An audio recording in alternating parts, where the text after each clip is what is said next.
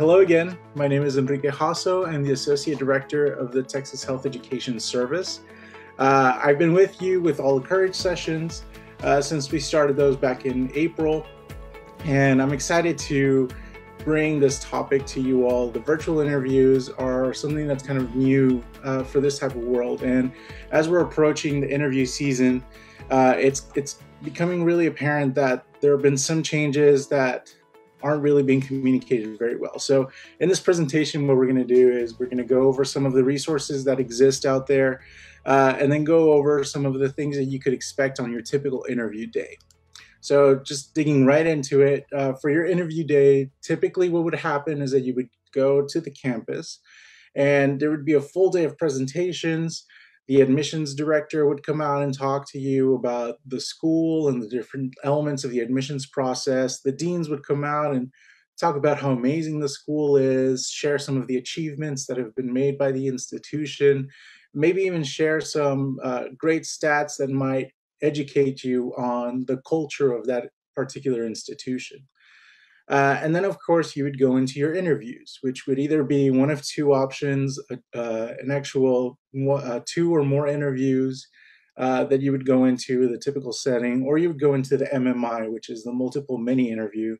And in those scenarios, you would actually go in and uh, go through different sections or stations and answer questions that are predetermined by that particular institution in regards to what they're seeking in their students.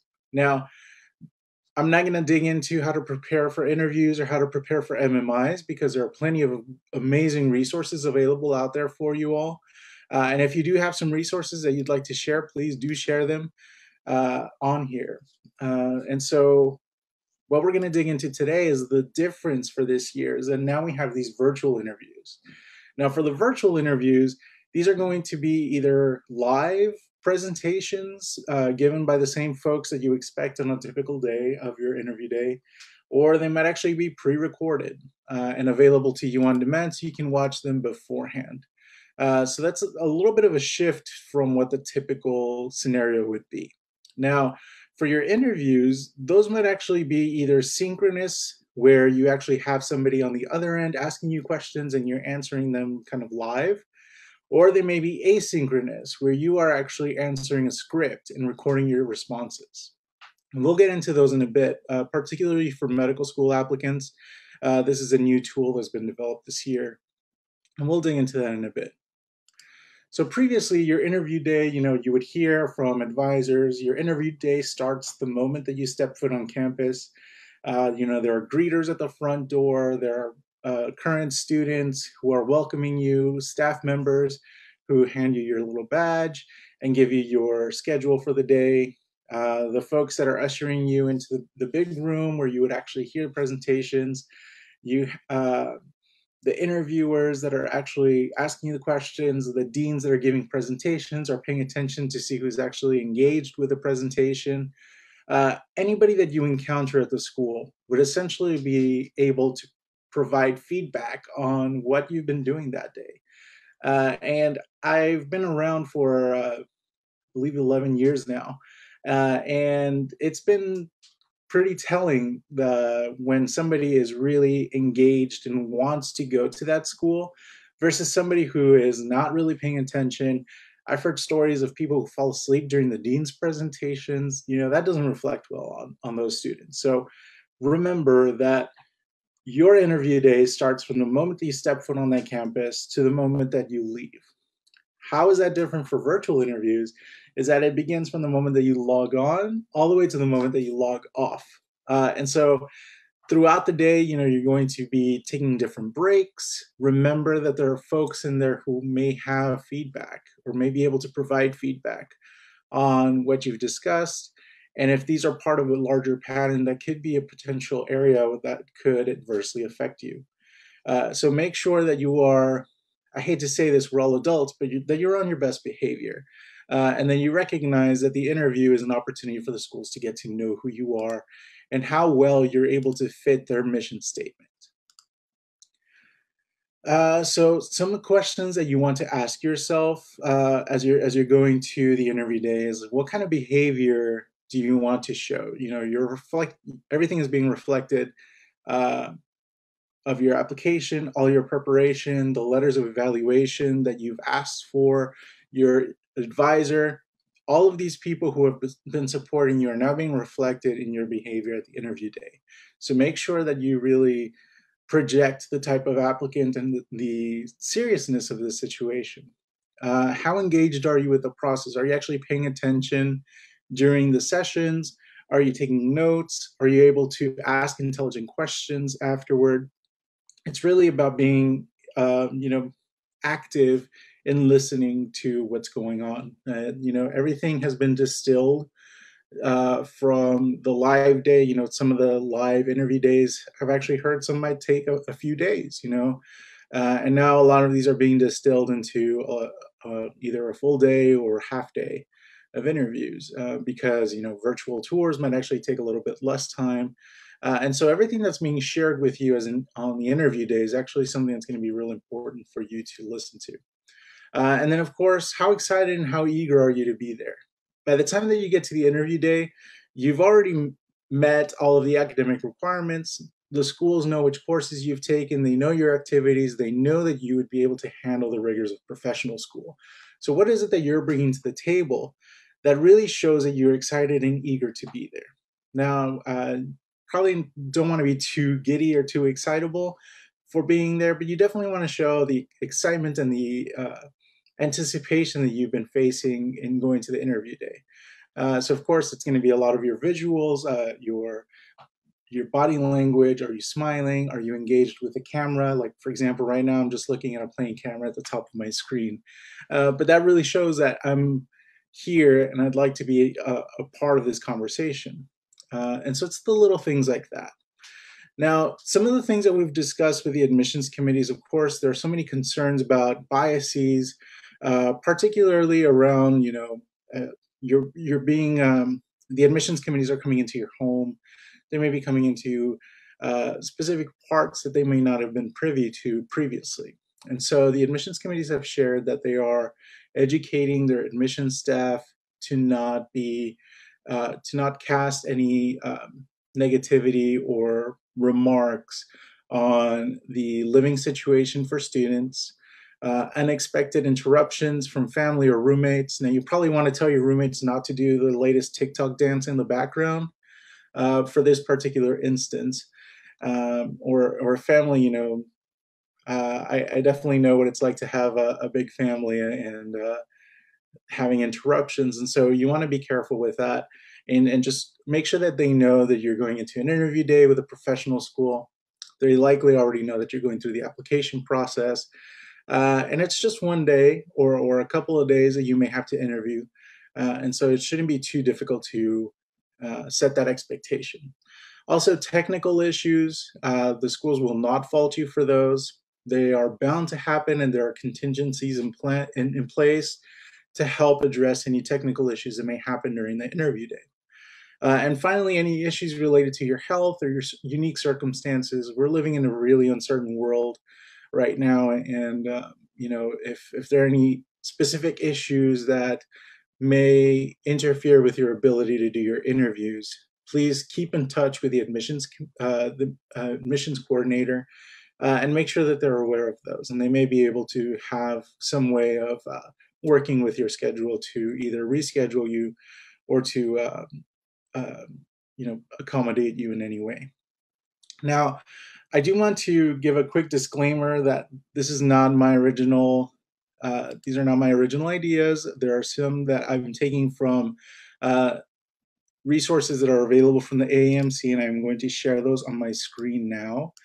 Uh, and these resources are really helpful because they are actually a part of uh, what the AAMC does, and it's to help educate students on the overall process. And of course, every one of our uh, allopathic schools is part of the AAMC, and they actually are part of a larger network of schools throughout the country. And so they actually have quite some clout. And so part of what I'm sharing with you here is going to be part of this uh, prep for success in your virtual interview presentation that Dr. Fraser, Dr. Dunleavy uh, gave to the AAMC. and this is available to you. And I'm sharing the link here in our presentation so that you can follow along as well. So uh, some things that I want you all to kind of take away from this. What is a virtual interview? Uh, again, it's going to be something that's either going to be live or asynchronous and on demand. Uh, and, you know, ultimately what it comes down to is the preparation that goes into it. If you're going into a live scenario, you know that you're you know what to expect and you know that there's somebody going to uh, that's going to be there interacting with you live when it's asynchronous you may have the opportunity to uh, prepare a little bit more for example the Vita uh, which we'll talk about in a bit actually allows you to uh, do individual questions asynchronous which means that you'd be able to do one of the six questions in one day and then do the, the rest on another day or just do all six in one sitting uh, another thing that you need to consider is the type of technology that you need. Uh, and this is something that, uh, for those of you that have pre health advisors, they would be really key to help you uh, with figuring out that the technology that you need. So, figure out if the school actually has a tutorial for their virtual interviews. There are a ton of different platforms that are out there right now. Some schools may actually use Zoom to do the virtual interviews. Other schools may use that Vita system that I'll talk about in a bit. Uh, other schools may actually have their own independent platforms that they've developed. Uh, and so it's figure out what that system is and make sure that it runs well on your computer, that you're able to connect uh, your and create your profile, make sure that your name is visible. Do a practice run uh, and see if there's any anything that you can do to set it up ahead of time uh, and make sure that as you're setting everything up, that you know who might be available for tech support, either on the uh, professional school's end or on your school's end, uh, just in case something does go wrong. Uh, and with technology, I can tell you uh, stuff goes wrong quite often. Uh, think about where you will actually do your virtual interview. You want a quiet and private space. On campus, you might actually find a library, or a, a specific room that the pre-health advisors have uh, booked in anticipation for virtual interviews. Or if you are uh, attending classes remotely, you might actually find that a local library is available or a community center. Uh, in the absolute worst case scenario, you know, you could also do these in your car. And again, the schools are know not to, uh, you know, make any judgments based off of your location. And so in the worst case scenario, you know, your car is a, a quiet space that you, that you could be in. I do ask that you be careful and judicious. In Texas, you know, right now it is still summer. So if you are in your car, just make sure that you uh, take care of yourself and you use common sense uh, in doing that. But, you know, in the best case scenario, it's, it's a nice quiet space that, you know, you won't be interrupted in. And please don't do this while you're driving. Um, you want you want to make sure that you have no distractions around. Uh, another thing for you to consider is you want to make sure your space is well lit. For example, here I have a light that actually uh, shines a light on my face because if I had it off, you would only see the backlight, uh, and it makes it difficult to see my my uh, my face, my my visual expressions. Uh, you want to make sure that you're in a well lit space, and if possible, make sure that your light is coming from the same direction as your camera, so that it lights up your face as well. Uh, and then make sure, of course, that you have access to stable internet access and, of course, power. If you're doing this on a laptop, you want to make sure that you have access to that power outlets uh, just in case you know, power goes out uh, with your battery. So, overall, the process, the way that this works is that um, you want to make sure that you keep up with communications coming from the schools. Don't forget to check your spam or your junk inboxes. Uh, far too many times I've heard of students who uh, had actually had some sort of correspondence from the school, but it was stuck in their jam- in their uh, spam or junk inboxes. So please pay attention to those. If you receive any emails from those particular from any school, make sure that you add them to your safe senders lists. Uh, and I think it's safe to call out that the the email uh, services that are typically they have a really really strong uh, junk email filter is probably going to be like Hotmail or MSN. Uh, those are the big ones. But of course, you know, if you have a Gmail account, if your school has a specific inbox account, those settings might actually be set pretty strictly where emails from the schools may be getting sent to your junk or your spam inbox. So please pay attention to those. Uh, the types of questions you'll be getting during the process, during the interviews, are either going to be behavioral, which is where they ask that you describe different experiences that you've had. Uh, um, so, for example, something that you've listed in your application. Uh, uh, another one would be situational, which is like, what would you do in this scenario? And then finally, it would be uh, general questions like describe yourself, describe what you have come through. Uh, and it's just to kind of get to know you. So all of the questions will either fall into one of those three scenarios. That oversimplifies it, but it, I, I, thought it'd be interesting for you all to know. Uh, make sure that when you go into your interview day, you know your application in and out, back and forth, every which way. For the TMDSAS application, you're able to download a copy of the PDF that the schools actually get by going and logging into your application and then going to uh, entry year 2021, and it's a hyperlink that will actually take you to that PDF. Uh, so download that PDF and make sure that you know everything that's on your application. Uh, for some of you, your application may have been, you know, a few months ago or maybe a few weeks ago. Uh, and so you want to make sure that you have everything that you need um, so that you can compare notes and you are ready to answer any questions that might come up about your application. Uh, remember that it's fair game. Everything that you've entered in the application is fair game during the interview process. So if there's a uh, an interviewer who's more interested in asking you general questions about yourself, they may ask you questions about your experiences. They may ask you questions about why you've discussed something in your optional essay or why you gave a certain response. And remember that the core competencies are going to come into play here. Uh, and so you want to use examples from your application to kind of align with certain core competencies and make that line clearer. Uh, and don't forget that the school's mission and vision statements are going to be key here. Uh, once you get to the interview day, they are, again, uh, the schools have already seen that you're academically capable of handling the rigors of, that, of their school. For the interview day, they're trying to see if you are a good mission fit for their school. Are you somebody who's going to carry their mission and their value statements? Uh, and we've talked about this. Uh, we have a whole episode of the podcast dedicated to the mission and vision statements for each one of the member institutions. Uh, but really go out and do your homework because these statements are really what drives the overall admissions uh, and all of the theory that goes into the admissions process for each one of the schools. So that the better you connect yourself and your application to that mission vision statement, the better, the easier it is for your interviewer to be able to make that clear distinction as well and kind of defend you in the admissions committee.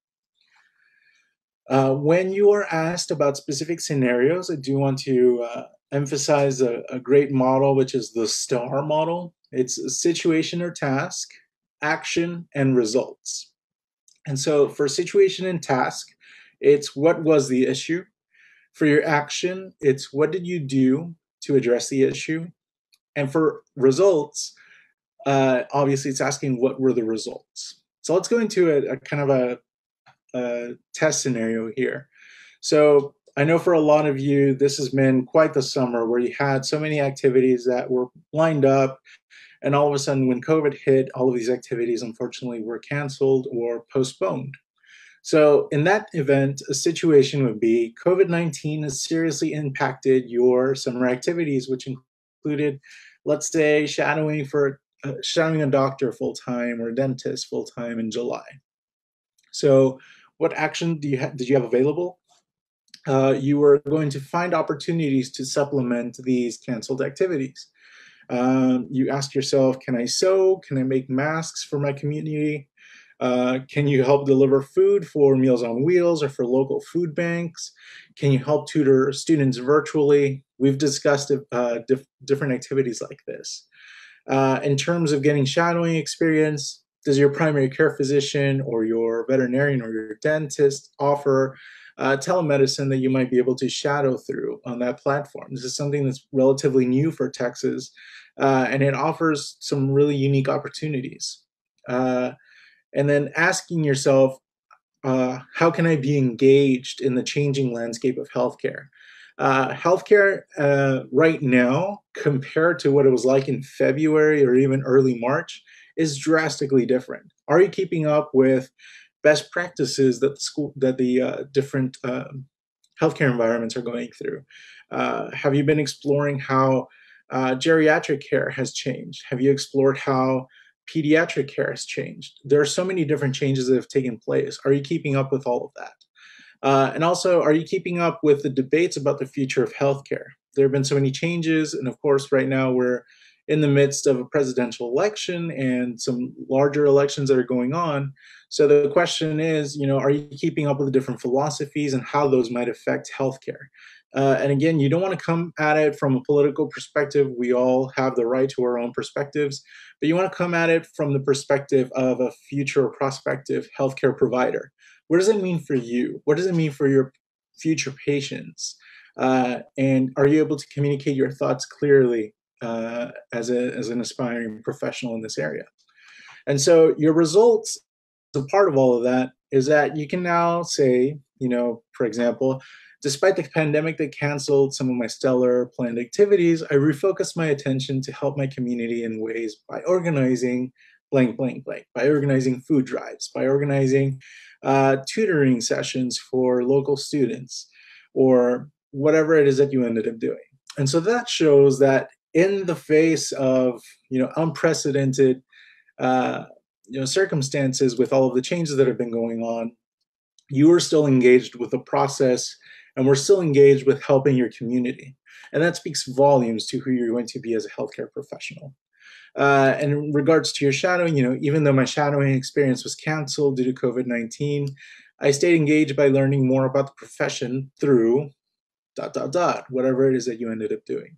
And so using that STAR model, where we have the situation, action, and results, is really going to be key in you being able to discuss what's happened, what, what you did to address it, and what resulted of it. So that's something that's really important for you all to remember as you're going into your interviews. Uh, another document that I found with AAMC, and I will share it now here, is the virtual interviews tips for medical school applicants. Uh, and again, uh, I recognize that these are all medical school related, allopathic school related, but these are largely um, representative of some of the changes that are going on with both our dental and medical applicants and also our osteopathic applicants. Uh, and so here we have, you know, uh, going a bit further into depth with live interviews, asynchronous interviews, the behavioral general situational questions that we were talking about, your different experiences, how to practice with the technology that's available, uh, setting up your technology and your environment for the interviews. And so here, what you want to make sure is that uh, you have your lighting right, that you look good, that you sound good, that you make sure that you start the session without being on mute, like I just did. Uh, that you're, you know, fully engaged and are able to present yourself in the best way possible. Uh, for uh, virtual backgrounds, I, I, know that you all noticed that I have a virtual background up here. Uh, I do want to point out that we did reach out to a few schools. There was a concern that if you are using uh, perhaps a virtual background with your school's logo, uh, whether that would be an issue. And I do want to share that during interviews, uh, some schools will actually do what's called a blind interview, meaning that the admissions committee does not know specific parts or any of your application. Uh, and so what that means is that the schools are really doing uh, a unique job in removing any biases that may be associated with um, knowing who what you what you put in your application uh, compared to what they'll see on the interview day. So in those scenarios, if a school has blinded the admissions committee to your application, the admissions committee might not know which school you've attended. Uh, and then say you show up and your virtual background is, and I'm sorry, Aggies, but let's say it's a Longhorn, it's burnt orange, and you show up to another school's uh, interview with a super burnt orange background. Uh, and that might actually not be such a great idea. And I'm going to give you two reasons why. Uh, the first one is uh, it's going to be something that could be distracting to the interview. Uh, particularly, I've seen some backgrounds where it looks like you're about to give a press conference because your your team just won the the March Madness, and it's just super distracting, and it takes away the attention from what you are trying to accomplish. And then two, uh, it could potentially open some biases on behalf of the admissions committees. Um, you know, are you uh, talking about how difficult it is for you as a Longhorn to attend Texas Tech or to attend Texas A&M? Uh, and having that background might actually reinforce that idea. And so you want to be very, very careful and very judicious with your backgrounds and make sure that they're not distracting. Now, as a uh, as we release this recording, we will actually be writing an article that'll be released soon that'll include a few uh, virtual backgrounds that are completely clear of any logos. They'll be in different colors so that you can match it or contrast it to your outfit. Uh, and hopefully, they might help you in the event where you can do a, a virtual background. Now, not every platform is going to have the ability for you to put in a virtual background. So uh, make sure that you keep your background as free from distractions as possible. Have it be a clean room with nothing distracting. Uh, if you end up having to use, you know, a china cabinet or something like that in your background, don't fret too much about it. Uh, ultimately, what you want to make sure is that it's not a distracting background. You want to be the focus of the attention, especially when these interviews may not always be as, as long as you'd expect. Uh, make sure that you dress professionally, just as if you were, you were going to the professional school uh, in person, and that you're well rested and focused on it. Uh, make sure you have your coffee if, if that's something that you do. Have a good full night's rest the night before, and, and be ready to be fully engaged because that's gonna, that's going to be a, a really big point. Uh, another great tool that the uh, AAMC has shared in, has actually developed in these past few months is the Vita, which is uh, a virtual interview tool for admissions. Uh, and what this is is a tool that offers the admissions committees at different schools to integrate some of the core competencies into their admissions selection. And what happens is that the, the Vita program will actually have uh, six questions that they'll ask you. And you go in, you log on. There are six questions that are a combination of their personal experiences, your behavior, your situation. And it's a one time online unidirectional interview, meaning that it's only you engaging in the interview. You get a text prompt and you are able to record yourself in a video or audio response. There's no human interviewer on the other end. Um, of course, once they review your recording, there will be somebody there, but as you're recording, there is not. You have one minute to reflect and read the question, and then three minutes to record your response. So these can be pretty quick. You know, in five minutes, you've already gone through a question. The cool thing about these is that you're able to record one question or all six in one session, as long as it's all completed by the deadline that the school gives you. So if you have any more questions about what the AAMC Vita tool looks like, uh, here we are sharing a link on our discussion. Uh, and of course, if you're listening to this on the podcast or watching it in the uh, on our YouTube channel, we will share all of these links in the description of this episode. Uh, so now that we've kind of gone through all of the different tools, everything that you should do to prepare, all of the different things that you need to cover, uh, I do want to share some great tips that were given to us by uh, Caleb Marsh, who is the associate director of uh, the Temple Post Bac uh, Temple University Post uh, Bac program. and Mr. Marsh is actually one of the members of the Texas Health Education Service Advisory Council. He wrote this awesome article uh, way back in uh, in May, where he shared some of the uh, best practices and tips about what you should do to prepare for virtual interviews. This was way back when some of the schools didn't even know that they were going to do virtual interviews. Uh, and so some of the points are reiterated here that we've shared. Um, you know, dress as if you're going to the interview in person. Make sure that you turn your phone off so you have zero interruptions. Uh, something that's great on here, if you go by your preferred name, make sure that you change your screen name so that it's your preferred name. Uh, and also make sure that your preferred name was included in your application so that the school is aware and is able to connect you back to uh, your application. Uh, don't use distracting backgrounds. If you're not talking, make sure that you are muted. And if you do, for any reason, have to take a quick break or the restroom, whatever, and you have to turn off your camera, make sure that you upload a profile photo so that when the camera stops, your photo appears. And that just kind of shows that you, uh, it's, it's a little added step. Nothing major, but I think it's the little things that really count here. Uh, and so we've got some great tools here. Uh, thank you, Mr. Marsh, for sharing these. Uh, I think that that'll be really helpful for a lot of students out there. Uh, as I mentioned earlier, we have been in communication with all of our member institutions about the virtual interviews. Uh, this is something that's brand new.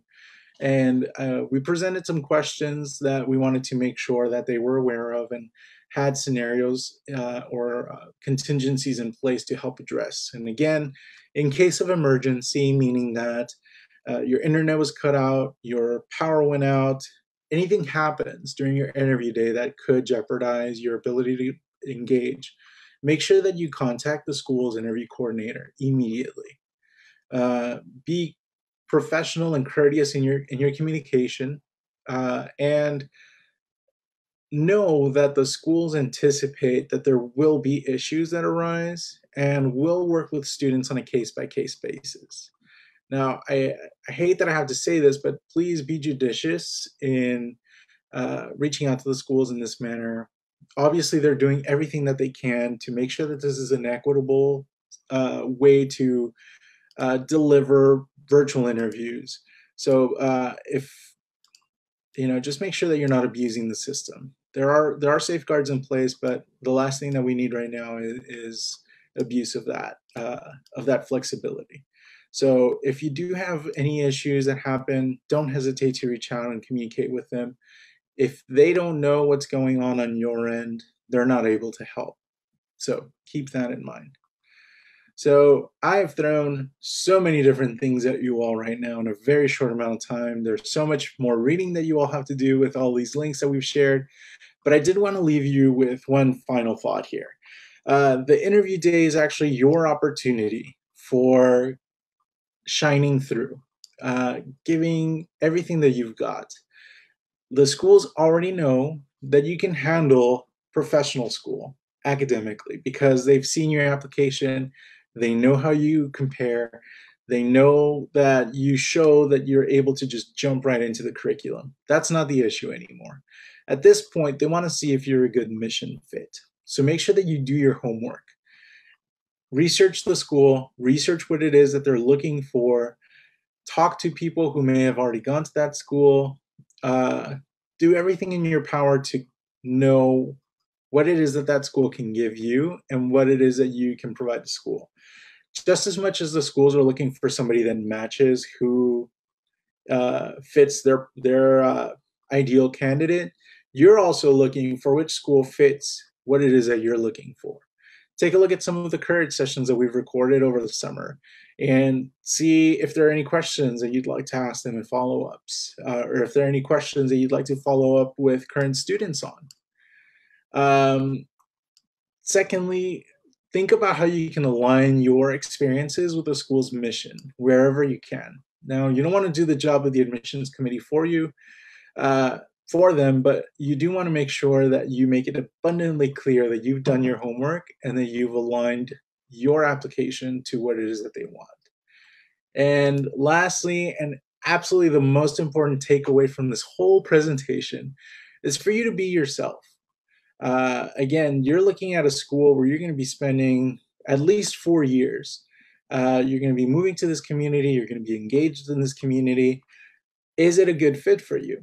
Be yourself and see if you see how reflect on how you feel. Take good notes about everything that you've encountered, everything that you've engaged, everybody that you've engaged with, uh, and really, you know, don't put undue stress on yourself. The interviews are to see uh, whether you're a good fit for the school and also for the schools to see if they're a good fit for you. Don't forget that if you're a Texas resident and a medical applicant, you will participate in the medic- in the TMDSAS match uh, coming in March. Uh, and part of the TMDSAS match is going to ask you to go back through all of the places where you've interviewed and rank them. So having clear notes about your interview days is really going to be helpful as you reflect on each one of the interview days and everything that you've learned and whether or not the schools are a good match. Uh, and so that'll help you be able to build your preference list a lot easier. So do your homework, align your experiences with the school's mission, and be yourself. And that is absolutely the best thing that you could do is to be yourself. So uh, that's all I have for today.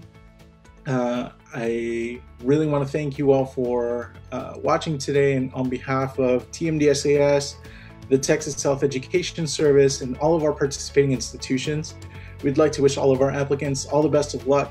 If you have any questions, we are available to you on the TMDSAS Hub Facebook group and also in the TMDSAS pre-help, I'm sorry, uh, non-traditional students Facebook group. Uh, and we're there to help with any questions that you have. So thank you all so much, and we'll talk to you later.